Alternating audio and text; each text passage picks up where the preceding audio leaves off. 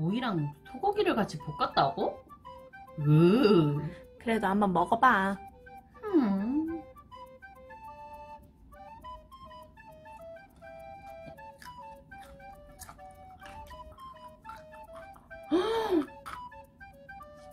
돌은 천생 연분이었어.